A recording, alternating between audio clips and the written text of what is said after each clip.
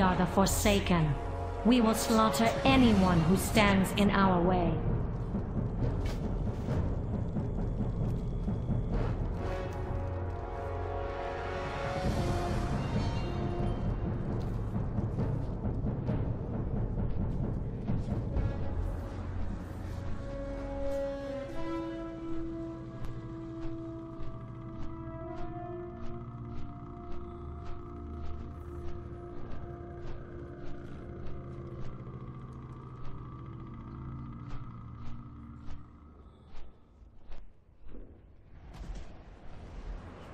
Azeroth must not fall.